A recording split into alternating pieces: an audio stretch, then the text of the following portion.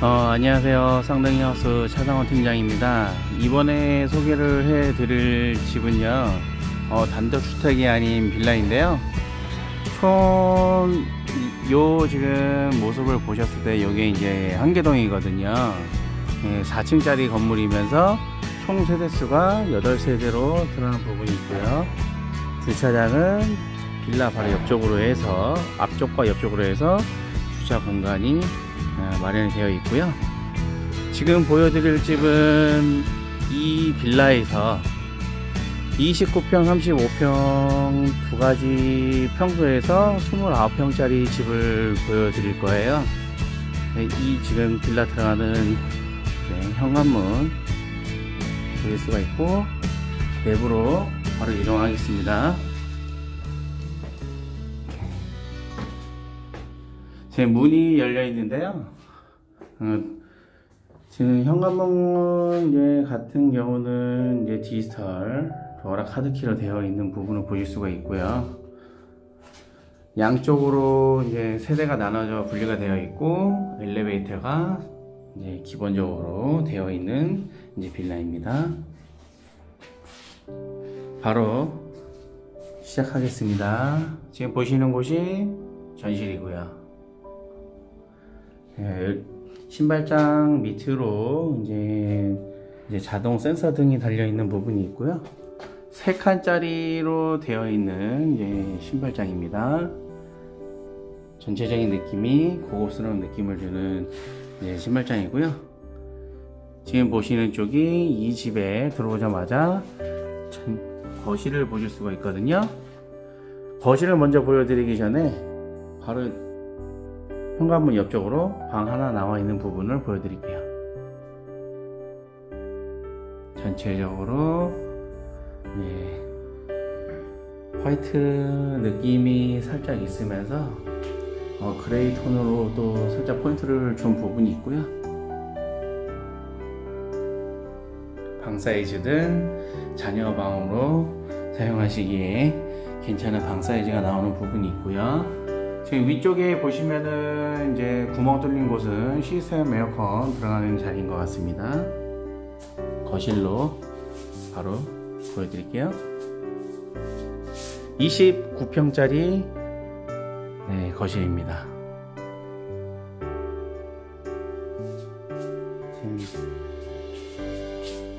바닥은 보시면 아시겠지만 가장 빌라에서 많이 쓰는 강화마루로 되어 있고요.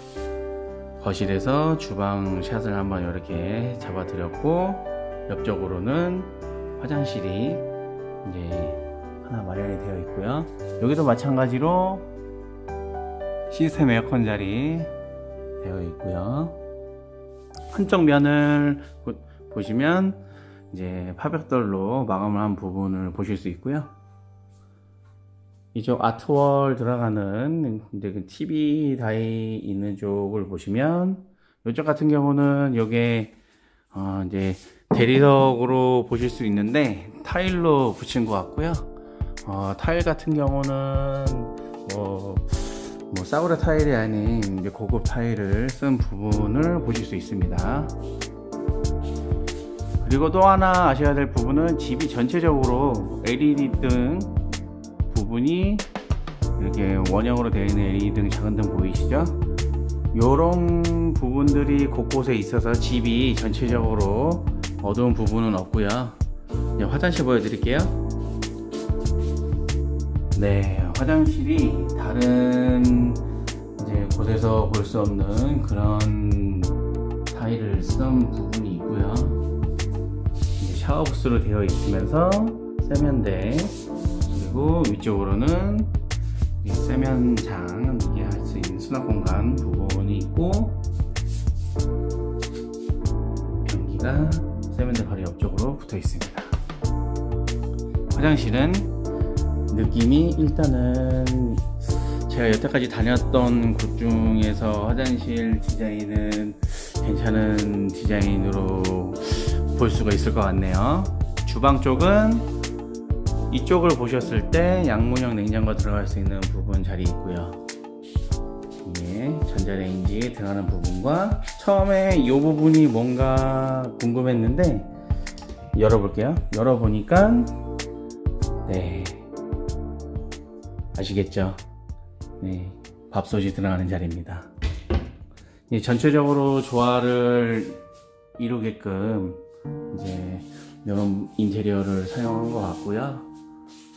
상부장도 보시면은 수납 공간 충분하고 하부장도 보셨을 때 수납 공간이 충분한 모습을 보실 수 있습니다. 지금 이 밑에 부분을 보셨을 때 여기 이제 스틸 이제 철로 되어 있는 부분이라 생각하실 수 있는데 어, 그냥 기본적인 이제 싱크대 나무로 원목으로 되어 있는 그런 싱크대에다가 이제 약간 스틸 느낌이 드는 부분을 붙인 것 같아요. 그리고 주방 타일 보시면 이제 전체적으로 집이 white 톤으로 해놨기 때문에 어, 주방 쪽도 타일을 신경 쓴 게 보이고요. 싱크볼도 좋습니다. 요거 독특하죠? 요 부분도 마음에 드는 부분이고요. 가스 쿠타이브 보통 인덕션을 많이 사용했는데 이것도 이제 호불호가 갈리더라고요. 인덕션 대신에 이제 가스 쿠탑을 또 좋아하시는 분들은 화력 때문에라도 이렇게 되어 있는 부분을 보실 수 있습니다. 위쪽으로 보셨을 때 이제 렌즈 후드잖아요. 렌즈 후드가 이제 다른 보통의 렌즈 후드와 다르게 좀 약간 대각선으로 되어 있는 렌즈 후드예요. 그래서 이것 때문이라도 주방 전체적인 인테리어 부분을 보셨을 때 더 괜찮게 보이게 해주는 그런 효과가 있는 것 같고요. 전부 다 옆쪽을 보시면은 네, 가까이 가볼게요. 옆쪽을 보시면 터치식으로 하실 수 있는 부분이 있습니다. 옆, 그리고 이쪽에 아일랜드 식탁이 이제 같이 싱크대가 되어 있는 디귿자 형태이긴 하지만 아주 이제 길지는 않지만 괜찮은 사이즈로 나온 모델을 보실 수가 있고요. 이 부분도 보시면 이제 충전할 수 있는 단자 그리고 콘센트 나와 있는 부분인데 이거를 내렸다 올렸다 이렇게 쓰실 때마다 빼시면 될 것 같습니다. 주방 옆쪽으로 보일러실 겸 세탁기 놔둘 수 있는 공간이고요. 공간 자체가 어, 여태까지 봤던 다용도실을 봤을 때 넓은 편에 속합니다.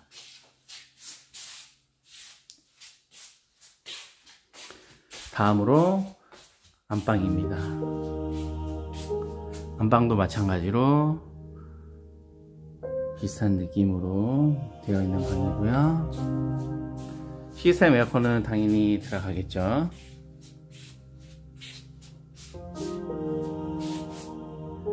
한쪽 면에 안쪽으로 안방이라서 그런지 이제 파우더룸하고 이제 화장실을 예, 크진 않더라도 예, 실속 있게 구조를 뺀 모습을 보실 수가 있습니다.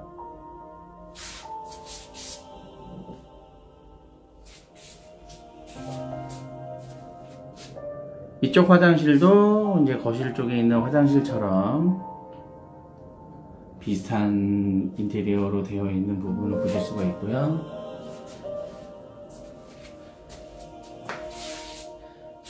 마지막으로 보여드릴 방은 이제 자녀방을 첫 번째 문 현관문 옆쪽으로 하나 보여드렸는데 안방 옆쪽으로 하나 더 나오는 모습을 보실 수 있습니다. 방 사이즈는 처음에 현관문 옆에서 보셨던 방 사이즈와 비슷한 사이즈로 보이고요. 자녀 방으로 쓰시기에 충분한 사이즈를 보실 수 있습니다. 여기도 마찬가지로 시스템 에어컨 들어가는 자리 있고요. 거실 쪽을 한 번 더 이렇게 잡아 드리고 어, 이제 운전 신도시 옆에 붙어 있기 때문에 어, 가격은 정확하게 아직 파악은 못했지만 일단 집부터 찍은 거거든요. 그래서 어쨌든 어, 29평짜리 빌라가 훌륭하게 되어 있는 모습을 이제 보여드렸습니다. 이상 쌍둥이 하우스 차상원 팀장이었습니다. 감사합니다.